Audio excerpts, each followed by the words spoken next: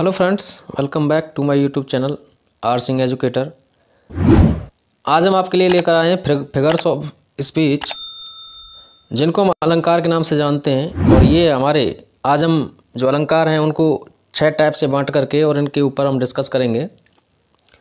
पहला जो टाइप है हमारा, वो है हमारा राइम राइम को कह राइम का अर्थ होता है तुकबंदी, यानी कि जो मैचिंग से वर्ड्स देखते हैं हम, या तुकबंदी कहते हैं। जैसे एक जैसे जो स्वर हमारे निकलते हैं, उनको हम तुकबंदी कहते हैं। फिल्मी गाने अधिकता अधिकांशतः पुराने जो गाने थे, वो तुकबंदी में ही चला करते थे। इसके बाद आ जाता है सिमली। सिमली को कहते हैं उपमा, मेटाफर यानी रूपक पर्सोनिफिकेशन यानी मानवीयकरण एलिट्रेशन यानी अनुप्रास, और एसोनेंस यानी स्वरानुप्रास। तो इस प्रकार से हमारे छः टाइप हैं। तो सबसे पहले हम पढ़ेंगे राइम। तो राइम जो होता है हमारा the words matching in in their pronunciation in the end of more than one line इसका अर्थ होता है, एक से अधिक पंक्तियों के अंत में समान उच्चारण वाले शब्दों की पुनरावृत्ति होना, समान उच्चारण वाले शब्द, यानी एक जैसे उच्चारण होंगे जैसे लुक बुक कुक इनके जो हैं, उच्चारण जो हम बोल रहे हैं प्रोनाउंसिएशन ये एक जैसे हैं। तो जो लाइन के अंत में जो वर्ड्स होते हैं, उनके अगर उच्चारण एक जैसे होंगे तो वहाँ पे राइम जो होता है हमारा फिगर ऑफ़ स्पीच उसको मान लिया जाता है। अब जैसे जैसे ये एक राइम है twinkle twinkle little star how I wonder what you are up above the world so high like a diamond in the sky अब ये इस तरीके से दे रखा है। इसमें हम देखेंगे कि लास्ट में स्टार जो शब्द दे रखा है स्टार के बाद अगली लाइन में दे रखा है आर फिर अगली लाइन में दे रखा है हाई और फिर अगली लाइन में दे रखा है स्काई तो इनको जब हम देखेंगे तो लास्ट लास्ट के जो वर्ड्स हैं स्टार आर हाई स्काई ये एक जैसी तुकबंदी के जैसे शब्द हैं, और इनकी जो तुकबंदी बनती है ए ए और बी बी वाली बनती है। ए ए और बी बी जो हमने माना है, आप कुछ भी मान सकते हैं, यानी सिमिलरिटी दिखाते हैं। तो ये हमारे सिमली हो जाता है इसमें। इसके बाद आ जाता है इसको कहते हैं हम राइमिंग राइम स्कीम ठीक है? राइम स्कीम के हिसाब से अगला है जैसे Johnny Johnny yes papa eating sugar no papa telling lie no papa open your mouth ha ha ha तो इसकी राइमिंग स्कीम देखेंगे तो पा पा यानी बड़े आ की जो साउंड है, वो निकल रही है। इसमें भी पापा है, इसमें भी पापा है, इसमें हा हा हा यानी कैपिटल लेटर की जो साउंड है, बड़े आ की साउंड वो निकल रही है। तो सभी में राइमिंग स्कीम जो है, वो सिमिलर है। सभी में ए ए मान लिया है। ऐसे अगला देखेंगे। अगला देखेंगे तो O my love is like a red red rose अब लास्ट में जो वर्ड्स आया है वर्ड आया है रोज़ रोज़ के हिसाब से देखेंगे रोज़ सेकंड वाले में आया है that is newly sprung in June अब पहले में ए था, दूसरे में बी मान लिया है, क्योंकि जून जो है वो रोज़ से अलग प्रोनाउंसिएशन दे रहा है। इसके बाद आता आया है O my love is like a melody melody जो है वो सी टाइप का हो गया। और अगली लाइन जो देखेंगे that is sweetly played in tune और ट्यून जो शब्द है वो जून के हिसाब से है तो इसमें जो राइमिंग स्कीम लगाई है, वो है A B C B A B और सी बी तो इस तरीके से इनकी राइमिंग स्कीम हो गई। इसी के साथ एक नोट दिया गया है, अगर एक से अधिक पंक्तियों में कुछ अंतिम शब्दों में शब्दों की एग्जैक्ट साउंड मैच नहीं करके उनके नियरेस्ट साउंड यानी कि इर्द गिर्द भी साउंड अगर मैच करती है मैच करती है तो भी उनके राइम स्कीम के अंतर्गत रखते हैं। तो ये इसका ये रूल था। इससे अगला जो है, वो देखेंगे।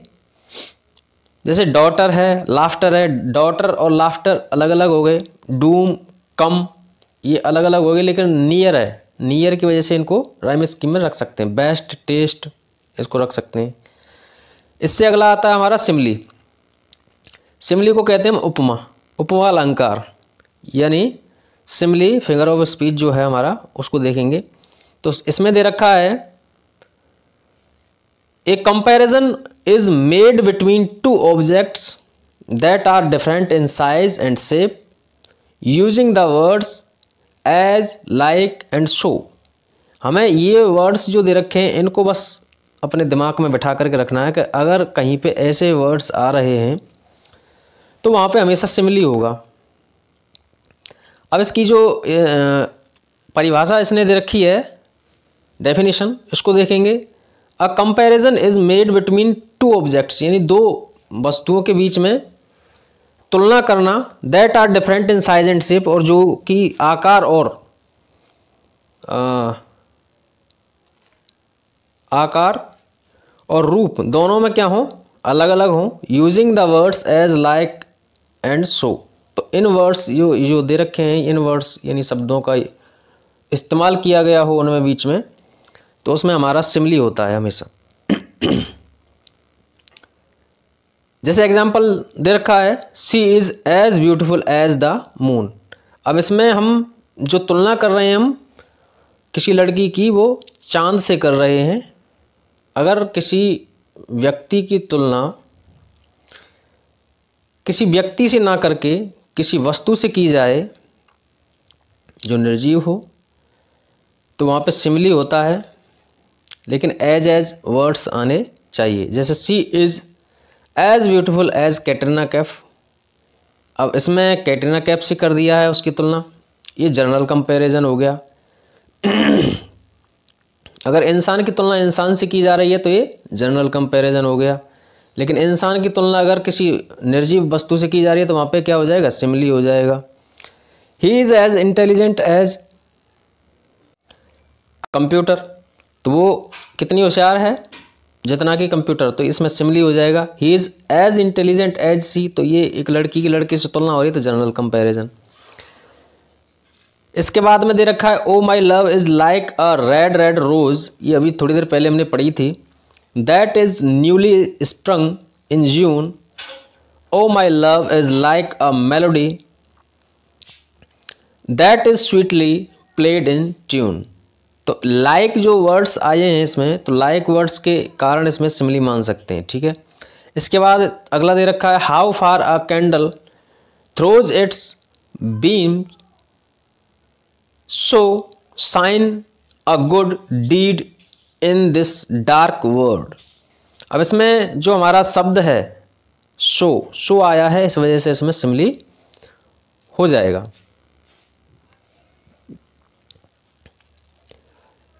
इसमें भी शो आया है थर्ड वाले में। इसमें आप देखेंगे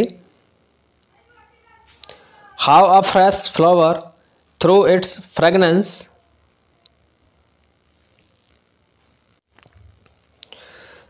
fragrance so spreads my beloved heart scent into the sweet air तो इसमें भी सो आया है। इस वजह से यहाँ पे भी सिमली हो जाएगा। इससे अगला देखें, Rana Pratap was brave brave like a lion अब लॉइन से इसकी तुलना हो रही है, जानवर से तुलना हो रही है प्रताप की तो इसमें क्या हो जाएगा? सिमली हो जाएगा। The face of my beloved is like the glow globe से तुलना हो रही है तो इसमें भी सिमली हो जाएगा। ऐसे ही her anger was like the summer rays option तो लाइक और समर रेज यानी गर्मी की जो किरणें होती हैं, सूर्य की किरणें, उनसे तुलना हो रही है तो इसमें भी सिमली हो जाएगा। इसके बाद आ जाता है अपना मेटाफर मेटाफर कहते हैं रूपक को। तो इसमें देखेंगे in metaphor a direct comparison is made between two dissimilar objects in shape and size without using the words as like and so यानी ये जो शब्द आते हैं हमारे, जो हमने अभी सिमली में पढ़े थे as like and so as like so जो शब्द आते हैं हमारे, इनका उपयोग ना करके डायरेक्टली अगर किसी से तुलना की जाए, किसी व्यक्ति की या जानवर की, दो असमान वस्तुओं की तो वहाँ पे मेटाफर होता है।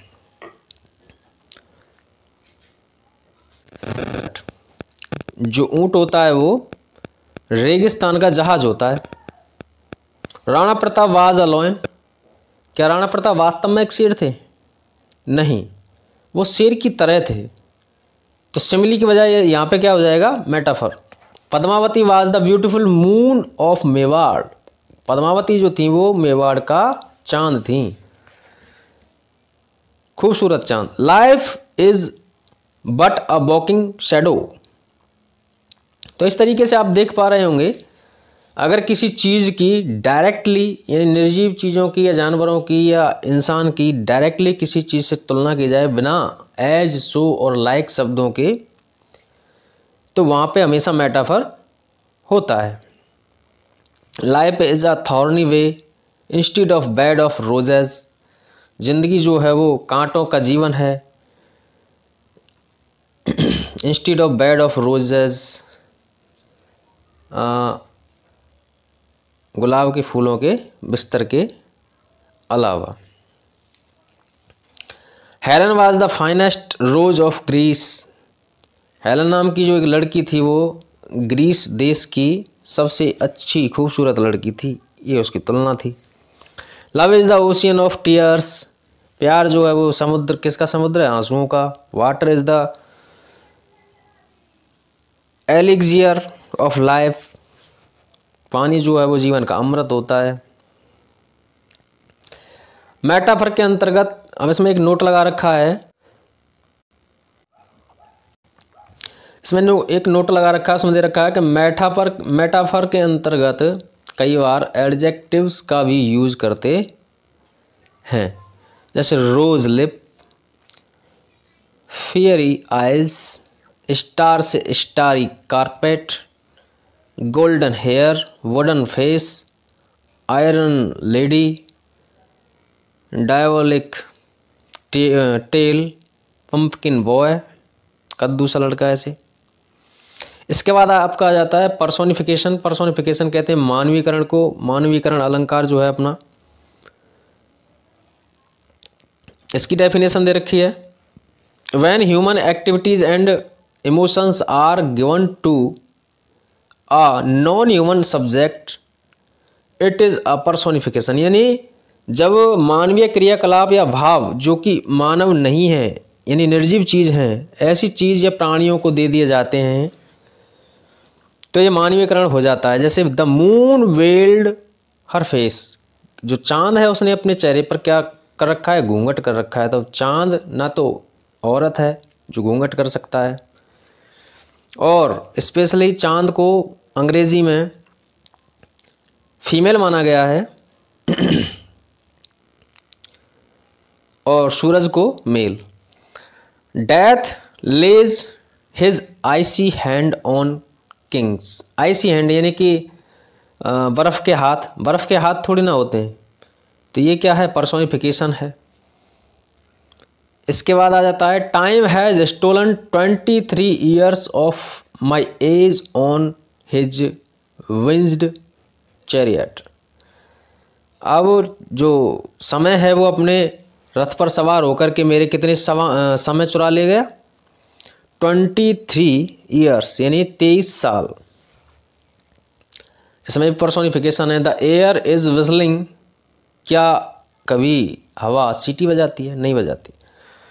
तो air is whistling through the dry grass जो हवा है वो सूखी हुई घास में होकर के सीटी बजा रही है। यहाँ पे पर्सोनिफिकेशन है। डेफोडिल्स इन नरगिस के फूल आर डांसिंग चेयरफुली अब फूल कभी नाच सकते हैं क्या? नहीं नाच सकते। लेकिन यहाँ पे मानवीयकरण किया गया है।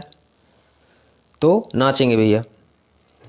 The earth loves all her son sons and daughter यानी जो पृथ्वी है, उसको माँ का दर्जा दिया गया है। तो पृथ्वी जो माँ है, वो हम अपने बच्चों से, बेटे और बेटियों से बराबर का प्रेम करती है। The river is singing a sad song जो नदी है, वो एक दुख भरा गाना गा रही है। इसका अर्थ ये हुआ कि ना तो नदी गा सकती है। यहाँ पे भी क्या किया गया है? पर्सोनिफिकेशन किया गया है, मानवीकरण किया गया है। इस तरीके से the sun looks angry today, यानी जो सूर्य है वो आज बहुत ही गुस्से में दिखाई देता है। इस तरीके से। तो ये हो गया भाई अपना personification stars are entertaining us with their hide and seek game कभी तारे छुप जाते हैं, कभी निकल आते हैं तो उसको भी क्या कर दिया गया है? पर्सोनिफिकेशन बच्चे बना दिया गया है उनको। नेचर इज़ मोरिंग यानी कि प्रकृति जो है वो बिलाप करती है with is in our sadness तो पर्सोनिफिकेशन मेटाफर का एक मेटाफर का ही एक प्रकार है, इसलिए इसे ह्यूमेनाइजिंग मेटाफर भी कहा जाता है। यदि किसी ऑब्जेक्ट का मानवीकरण हुआ है, यदि किसी ऑब्जेक्ट का मानवीकरण हुआ है और परीक्षा में मेटाफर एवं पर्सोनिफिकेशन दोनों ऑप्शन हो तो सटीक आंसर जो होगा वो पर्सोनिफिकेशन होगा। मेटा पर केवल तभी आंसर माना जाएगा जब ऑप्शन में पर्सोनिफिकेशन ना हो। ये एक नोट है, इसको आप लिख लें अपनी नोटबुक में। इससे अगला है पर्सोनिफिकेशन के तहत नॉन ह्यूमिंग ह्यूमन ऑब्जेक्ट्स के साथ निम्न प्रकार से जेंडर लगाते हैं। अब इसमें जेंडर दिखाए गए हैं कि भाई किस प्रकार से किसके साथ जेंडर लगाते हैं। जो ऑब्जेक्ट्स नाउन ऑब्जेक्ट या नाउन्स ब्यूटी, यानी सुंदरता के लिए, सुंदरता के प्रतीक माने जाते हैं टेंडरनेस कोमलता के प्रतीक माने जाते हैं शॉर्टनेस गुडनेस अच्छे, अच्छाई के प्रतीक माने जाते हैं अनस्टेबिलिटी अस्थिरता के प्रतीक वर्च्यू गुण के प्रतीक माने जाते हैं, जो अच्छे होते हैं, कहने का मतलब जो अच्छे होते हैं, अच्छाई के लिए प्रतीक माने जाते हैं, उनको हमेशा फेमिनिन यानी कि स्त्रीलिंग माना जाता है। जैसे moon earth honesty spring rose ये सब क्या हैं? फेमिनिन है इसके बाद आ जाता है अपना, जो ऑब्जेक्ट्स या नाउन यूज़ अगलीनेस, यानी भद्दे, क्रूप दिखाई देते हैं। अग्रेसिवनेस, उग्रता के लिए जाने जाते हैं, अटलता, यानी इन एविटेबिलिटी अटलता वाइस यानी अवगुण। आदि के प्रतीक होते हैं, उनको मस्कुलिन यानी पुल्लिंग माना जाता है। जैसे सन यानी सूरज। ऑटम पतझड़। विंटर सर्दी समर गर्मी वाइन शराब। डेथ मृत्यु को पुरलिंग माना जाता है। टाइम वाइंड लव ईटीसी अंग्रेज़ी में जेंडर होते हैं। कौन कौन से होते हैं? Masculine feminine neuter and common ये हमारे चार जेंडर होते हैं। इसके बाद आ जाता है अपना एलिट्रेशन एलिट्रेशन यानी अनुप्रास अलंकार।